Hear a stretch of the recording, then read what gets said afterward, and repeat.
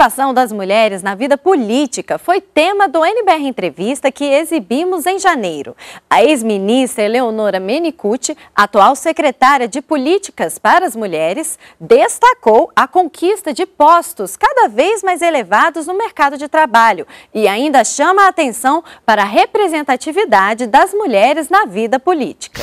As mulheres têm avançado muito é, no trabalho, no mercado de trabalho.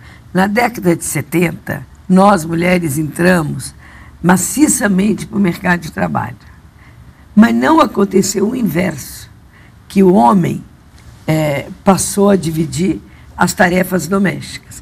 Ou seja, nós vestimos calça comprida, numa metáfora, e fomos para o mundo público do mercado de trabalho.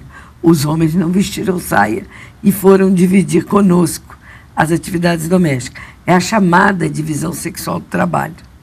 O NBR Entrevista vai ao ar às segundas, quartas e sextas, sempre às 17 horas, com reprise em horários alternativos na nossa programação. Você também pode acompanhar o programa na nossa página no YouTube. Fique aqui na NBR, a TV do Governo Federal.